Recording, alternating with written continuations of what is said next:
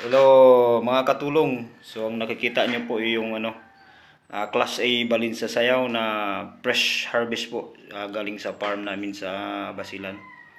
So actually po isang buwan is nakaka-harvest kami ng 3 kilos.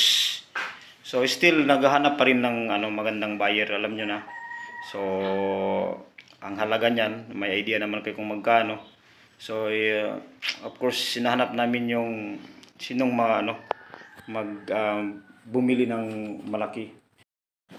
At kung may kakilala kayong bumibili ng ah, sweetlets ah, nest o yung balin sa sayaw na ginagawang soup, ah, paki comment na din po sa comment section para mapag-usapan. So may mga regular buyer na po kami, ah, local, pero hindi gaano kataas, alam nyo naman. Yun naman, ah, pag local ah, buyer, hindi gaano mataas yung presyo. So hanggang sa muli, ah, bye-bye.